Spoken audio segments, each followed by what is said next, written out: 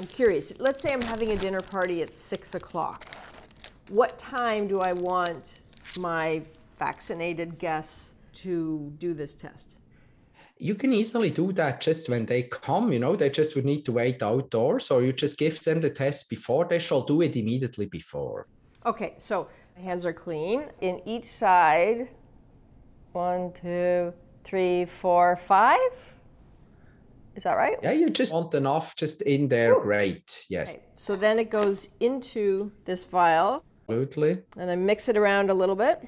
Exactly. It's good mixing, squeezing everything. And I snap it off. That's great. Whatever it takes. All right. So I put this here and I swoosh this around a little bit. As I get ready to do the next stage, what is this actually detecting? So first of all, what is important is these tests are really good at finding out whether right now you're infectious or not, because they will be positive if your viral load is high. And that's the moment when you're actually able to transmit to others.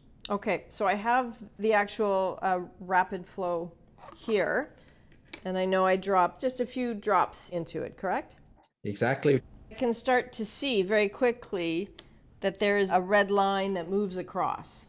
Okay, so we have waited uh, 15 minutes here. Can you see that? Looks good. Okay, so yeah. that's negative. And if you do this, let's say at 6 o'clock before this mythical dinner party, and then the next morning uh, you have a mythical brunch with vaccinated people as well, do you recommend you do it again exactly before that brunch?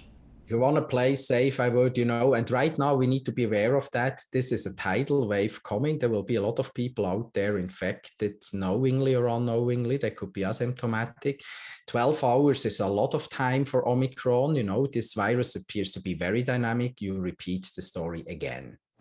And Dr. Juni adds, too, that the test should do a good job of detecting Omicron because the variant may even carry a higher viral load than Delta. And if you follow the instructions carefully, he says they should be reliable.